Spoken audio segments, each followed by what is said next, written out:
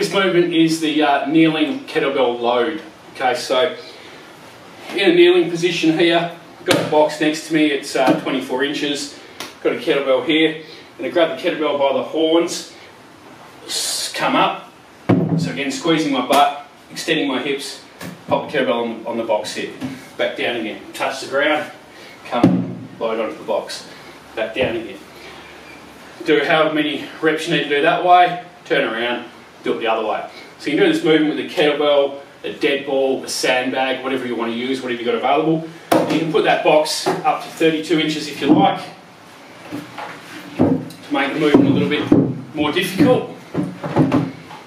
Because you've got to get that kettlebell higher. Okay?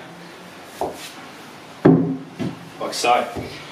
Uh, really do whatever, whatever you like with it. You can also do it standing. So you're in a standing position, grabbing that kettlebell, squatting down, grabbing that kettlebell, standing up, putting on the box.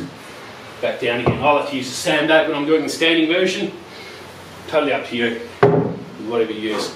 That's the uh, kettlebell load, kneeling kettlebell load, standing kettlebell